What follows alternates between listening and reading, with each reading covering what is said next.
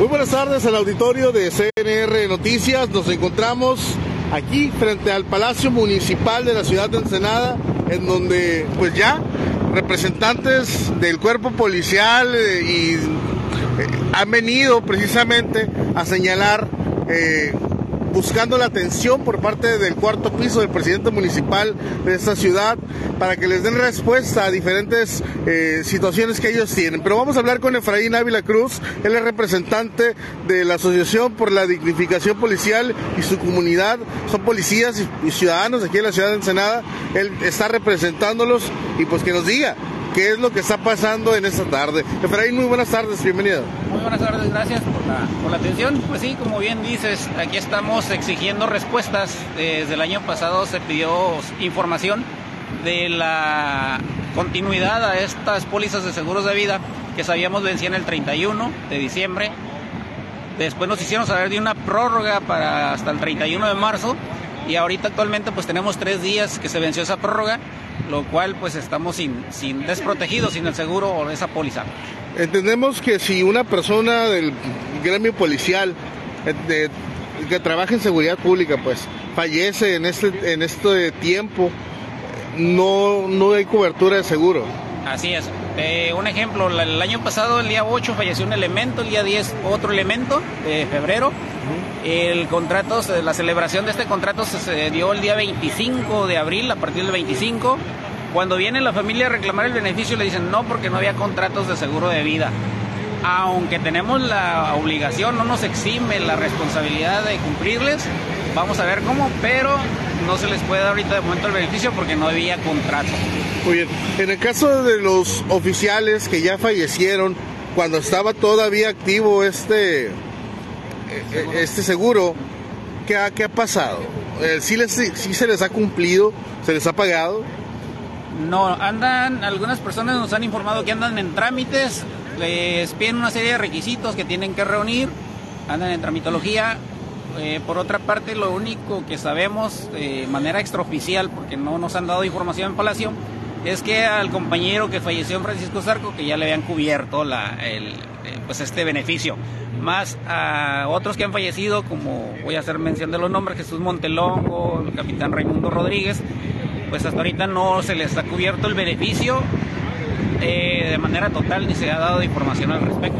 Todos ellos murieron cuando estaba activo el contrato. Así es, estos dos que mencionamos y el que Francisco Zarco estaba activo todavía el contrato.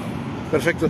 Por otra parte, eh, este es un tema muy preocupante que trastoca sus derechos como seres humanos, como servidores públicos y también, pues, eh, esto nos deja ver que, pues, bueno, yo como periodista podría asumir que ya los buscó la Comisión de Derechos Humanos, los ha buscado el Artaban, que es el regidor encargado, presidente de la Comisión de Seguridad Pública.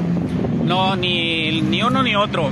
El, a sabiendas, como bien dice, de que el director no nos ha dado respuesta en ese sentido a la información que se le ha solicitado respecto a este tema y eh, a falta de respuesta de él hemos girado escritos al oficial mayor con la misma enmienda, con la misma encomienda, más sin embargo no ha habido respuesta y lo hemos hecho público en redes sociales con el afán de que se dé cuenta el regidor de seguridad pública, el de la comisión, que es el presidente, eh, también de Hacienda para mencionarlo por, porque tienen las dos comisiones. Igual derechos, la presidenta de la Comisión de Derechos Humanos, pues tampoco. Los hemos exhortado a que den la cara, a que nos uh, informen de manera directa, mas sin embargo no lo han hecho. En la última ocasión que tratamos de contactar al regidor Artaban, pues salió por la puerta de atrás del edificio para no darnos la cara. Entonces a ese grado hemos llegado. Muy bien, ¿Qué, ¿Qué, es lo que van a hacer ustedes? ¿Van a seguir luchando? ¿Qué es lo que le piden a, a, al presidente municipal y pues a los regidores? Obviamente, este, sabemos que ha habido una serie de exhortos por parte de, de lo que viene siendo la regidora Brenda Valenzuela para que se cumpla y se, en tiempo y forma con precisamente la contratación de estos seguros por el Departamento de Compras. ¿Ustedes qué le piden al presidente? Pues únicamente que se nos atienda, que no se nos vulneren los derechos. Es, una, es un derecho de petición que tenemos el, el, tener la información de los seguros, en qué estado están, cómo va la convocatoria y todo lo que concierne. Y que gire instrucciones al, al oficial mayor para que nos dé la atención como corresponde. Ahorita quisieron atender a un servidor, pero como representante ya había venido la semana pasada a informarme al respecto, no me atendió, no me dio la atención. Ahorita me quería dar la atención a mí, le dije, no, aquí está un grupo al que convoqué y vamos a entrar todos o no hay atención para nadie, porque ya anticipadamente vine directamente a pedir información y se me negó. O sea que solo no lo quisieron recibir y ya con, con cuando vieron la fuerza de, de la pues de la comunidad que representa es cuando quisieron eh, atenderlo por así decirlo. Así es, eh, únicamente un servidor.